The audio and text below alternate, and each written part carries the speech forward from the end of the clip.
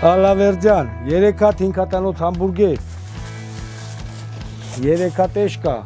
Արդեն մի քանի տարի այս ընկերությունը մայրաքաղաք հաց է առաքում հարմարեցված այս մեքենայով։ Սեպտեմբերի 1-ից Երևանում միս եւ հացաբուլկեղեն տեղափոխող մեքենաները պետք է ունենան սանիտարական անձնագրեր։ Առաջին 30 նախատեսված է թե որ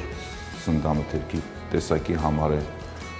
հատկացվելու սանիտարական անձնագիրը, հերթական համարը Դարձ 30-ին գործողության ժամկետի սկիզբն է ավարտը տրանսպորտային միջոցի պետհամարանիշի տվյալները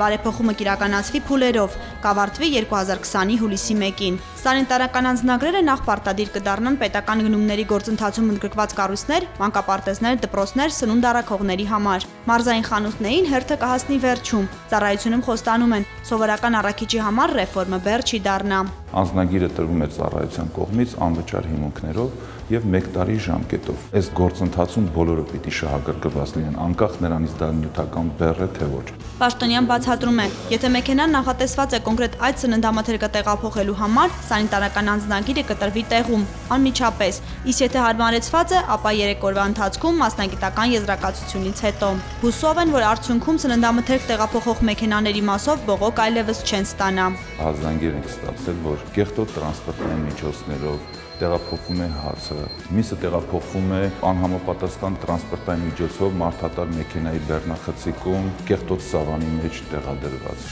Բոլոր մսերը, որ այսօր տեսնում եք տաղավարում,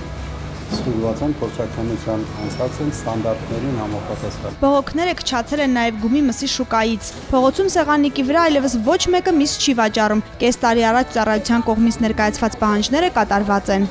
Փողոցային առևտուրը վերացվի, միսը վաճառվի բարվոք վիճակում գտնվող խանութներում, սառնարանային պայմանները ապահովեն։ Սոսը շարունակում է հոր բիզնեսը, վստահեցնում է, որ նախկինում էլ գործը պատշաճ պայմաններում էր կազմակերպում, փորձում է մշտական հաճախորդներ ձեռք բերել։ Դուք ձեր աշխով տեսնում եք, որ լավ կարգին տեղ է դառը, խանութները մաքուր, ամեն ինչը շատ լավ, շատ լավ միս են ծախում, խանութներից էլ 200 դրամ պակաս գին է հաստատ, մինիմալը։ Անասնաբուժ Ղահրամանյանը գումի մսամթերքի շուկայում աշխատում է հիմնադրման օրվանից 1995-ից ի վեր։ Արձանագրում է, որ շատ բան է փոխվել։ Բժիշկներն ամեն օր տեղում են։ Բերված միսը նախ փորձաքննվում է լաբորատորիայում, հետո միայն թույլատրվում է վաճառքը։ Այսօր արդեն մարզերից բերված միսը գնահատվում է 25 բալանոց համակարգով։ 17 բալը արտաքին տեսնա միսը թաց չլինի, լպրծուն չլինի, գույնը նորմալ լինի։ Օրինակը, այս միսը չի կարա հիվանդ լինի, հենց այստեղ կորկան նայի։ Այս շուկայի աշխատողների միակ խնդիրն այսօր աղբահանությունն է։ Պահանջում են, որ հատկապես ամռանն այն ավելի հաճախ կազմակերպվի։